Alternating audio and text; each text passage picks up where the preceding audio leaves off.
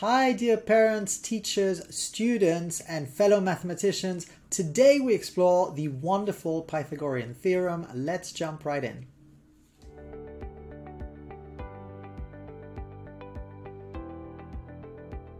So, who is Mr. Pythagoras? Well, Mr. Pythagoras was Pythagoras of Samos, and Samos is an island in Greece.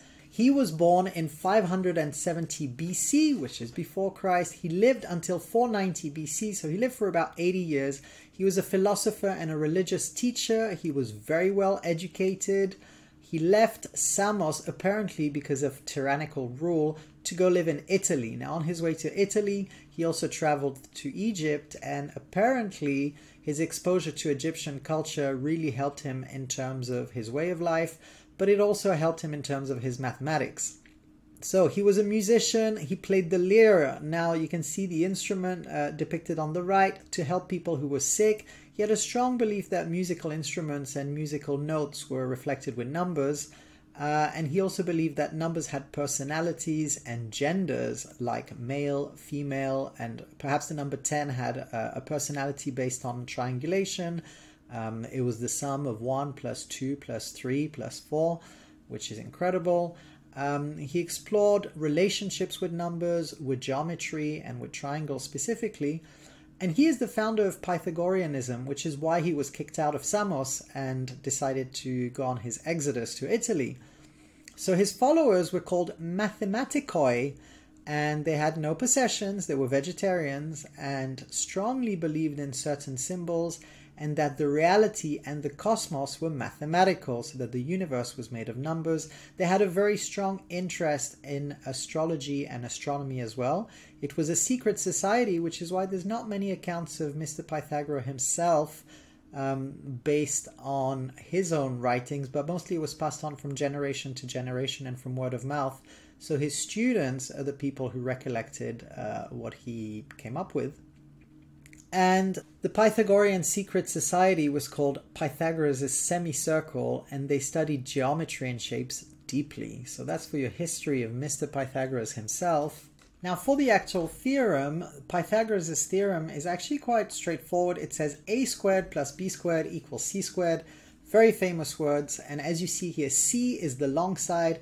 And so this suggests that if you were to take the long side and square it, it would be equal to the other two sides added together and squared. Now the process of squaring is multiplying by itself. So if you were to do c times c, it would be equal to a times a plus b times b so this is Pythagoras' theorem. And the most common geometric proof to this, which you can see here, is to draw squares because a times a is the same as the area uh, of a square, which would be a by a. So if you take the short side a and you make a square, and you take another short side b and you make another square there, and you take the last side, which is the long side c, and you draw a square here, you'd actually realize, geometrically speaking, that the areas of the two short sides squared together would be equal to the area of the big square. And you can see with numbers here, for example, with the 3, 4, 5 triangle, that 3 times 3 is 9, 4 times 4 is 16, and when you do 16 plus 9, you get 25, and 25 would be the area of a 5 by 5 square. Now, there are many proofs to the Pythagorean theorem. There's a proof here with a trapezium, and so if you were to try and find the area of the trapezium, Using the average of the base A and the base B, you'd be able to prove the Pythagorean theorem. It's quite involved. I'm not going to get into this proof today. There is also a proof with squares here. If you rearrange the squares, and if you'd like to do this, you can pause the video right now, and you can rearrange the squares in part A to see that they fit with part B. This is quite a famous proof. It's a Euclidean proof.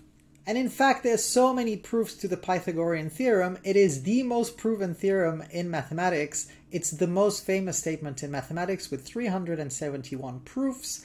Every culture has a version of it. Actually, uh, we believe that probably a thousand years before Mr. Pythagoras was born, it was proven by the Babylonians, or at least they used it. So it might have not been formally proved, but they had a use for it.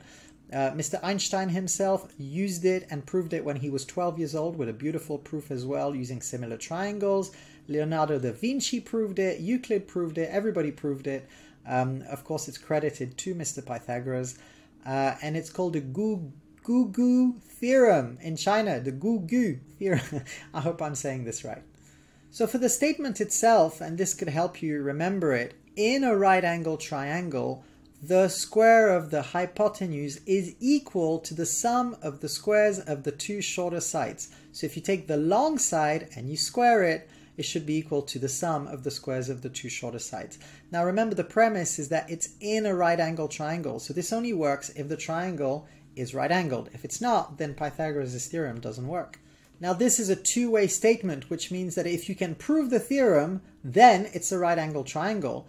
And if it's a right angle triangle, then the theorem works. Now there are some very common errors with Pythagoras' theorem and we're going to try and stay away from those. There are two common errors which I see all the time with students and we're going to try our best to not do these. The first common error, which is very, very classic, is to add the short side to the hypotenuse.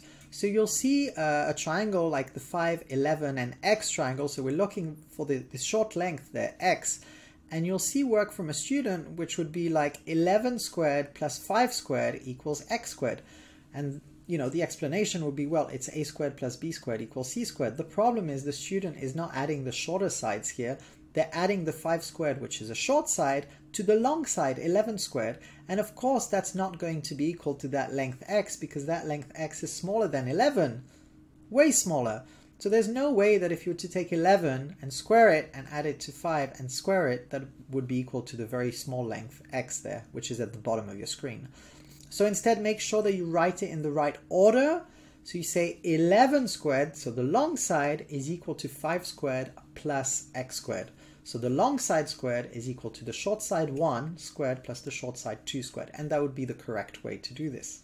So an easy fix for this problem is to always start with h squared equal. If you start with h squared equal, you can't make a mistake. So just do that. Every time you have a right angle triangle, doesn't matter what the numbers are, whether you know the h, whether you know the a, whether you know the b, just start with h squared equal and then fill in the blanks. And if you're missing h, then it'll be pretty straightforward. If you're missing a short side, you might need to do one line of algebra and then you'll fall on your feet and you'll get the question right, which is good. Now another common error is to forget to square root the answer. Of course the answer needs to be square rooted since it's a squared plus b squared equals c squared. So it's important here to realize when you finish a question that you have a way to double check. If you have a triangle, like for example the triangle depicted here, which is 5 and 12, and you end up with a long side which is 169, well you might as well think 5, 12, 169. That's completely impossible. It doesn't make any sense at all, right? 169 is way too big.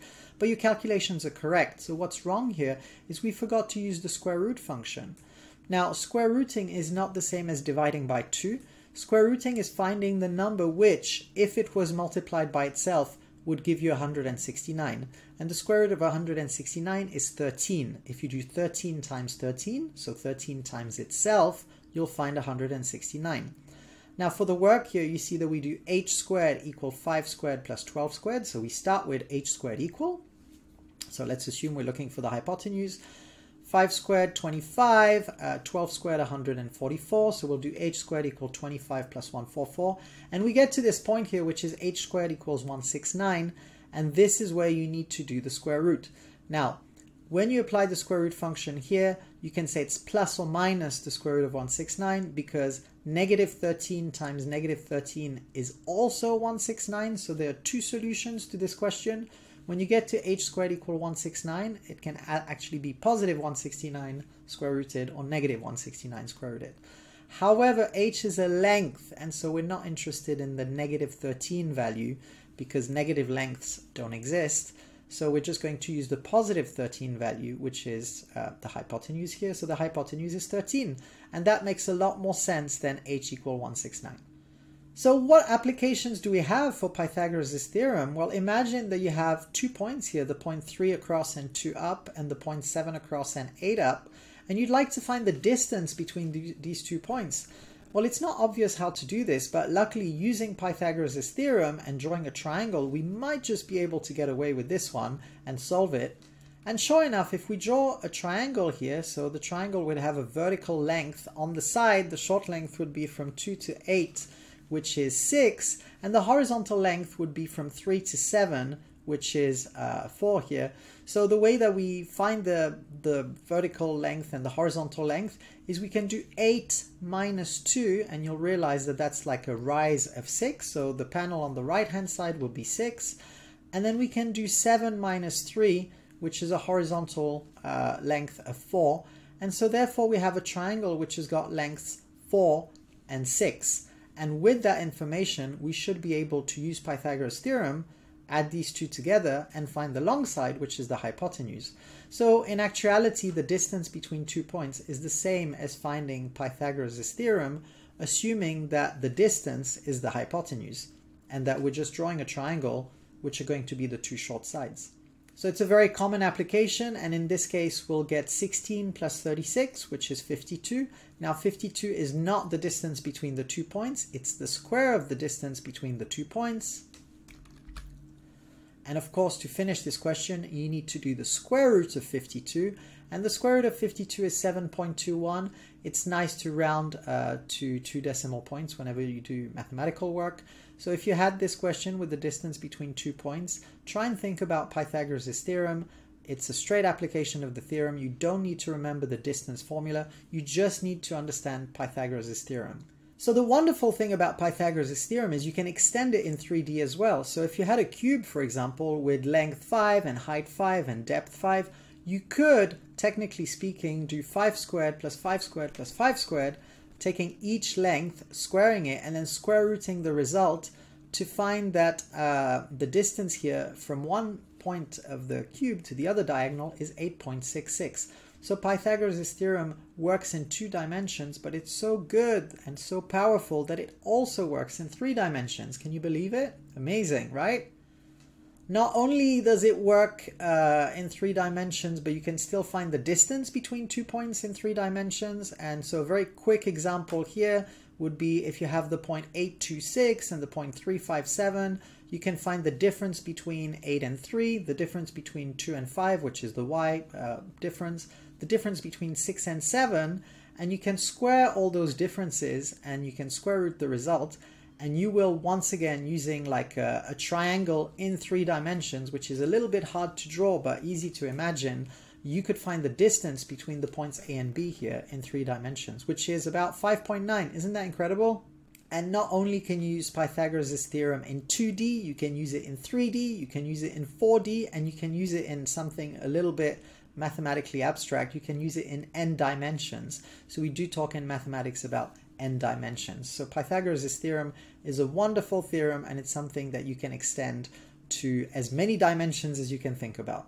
So I hope you enjoyed this first video introducing Pythagoras' theorem and the history as well as what we can do with it or some of the applications rather because we can use it in so many different areas of mathematics.